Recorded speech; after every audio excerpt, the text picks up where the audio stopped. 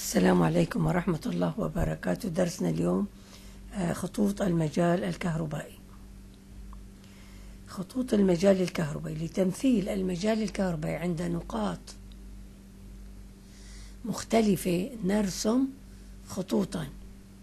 يعبر كل منها عن مسار شحنة اختبار صغيرة موجبة لذا وضعها حرة عند كل من هذه النقاط.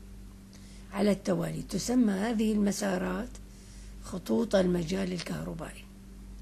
ماذا نقصد بخط المجال الكهربائي؟ وخط وهمي يمثل مسار حركة شحنة اختبار عند وضعها حرة في المجال الكهربائي.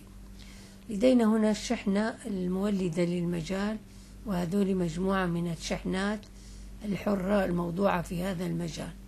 فمنلاحظ أنها تتحرك مبتعدة عن المجال لأنه موجب مع موجب شحنات قوة تنافر هنا شحنة سالبة مولدة للمجال ووضعنا مجموعة من الشحنات الاختبار الحرة في الفضاء المحيط بهذه الشحنة.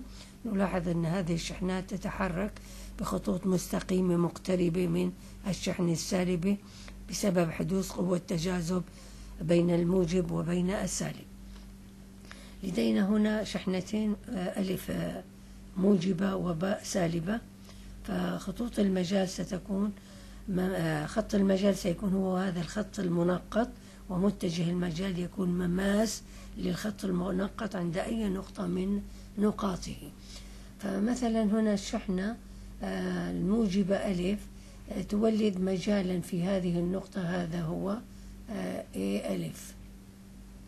والشحنة باء تولد عند نفس النقطة مجالا وليكن A آه، باء. محصلة المجالات ستكون هذه. ومنلاحظها مماثل للمسار هذا هو المسار اللي بنسميه خط المجال. هذا هو المسار اللي بنسميه خط المجال. أما هذا فمتجه المجال وهذا متجه المجال وهذا متجه محصلة المجالين. عدد خطوط المجال يتناسب مع شدة المجال. العنوان بيوضح لك الفكرة. يعني عدد خطوط المجال يتناسب مع شدة المجال. شدة المجال كبير عدد الخطوط كبيرة. شدة المجال صغير عدد خطوط المجال صغيرة. حيثما تكون شدة المجال أكبر إذا شدة المجال أكبر تكون خطط المجال أكثر كثافة يعني أكثر تقاربا. وحيثما تكون شدة المجال أقل تكون الخطوط أقل كثافة. فبنجي للرسم هنا. وين تكاثفت أكثر خطوط المجال؟ هنا. هنا خطوط المجال متكاثفة وهنا بعيدة. معنى ذلك هنا المجال قليل وهنا شدة المجال كبيرة. هنا شدة المجال كبيرة هنا شدة المجال أقل. هنا شدة المجال كبيرة هنا شدة المجال أقل وهكذا. نأتي لهنا الشحن الموجبة هذه. كلما ابتعدنا خطوط المجال تتزاحم بجوار الشحن معناتها شدة المجال أكبر ما يمكن بجوار الشحن.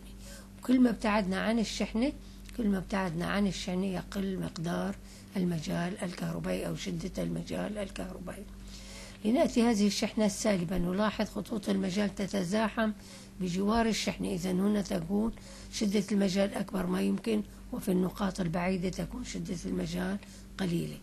نجي للشكل هذا. عندي شحنتين موجبتين يحدث بينهما قوة تنافر. نلاحظ هذه المنطقة فاضية ما في أي خط من خطوط المجال. لذلك نسميها نقطة تعادل لأن المجال فيها بيساوي الصفر.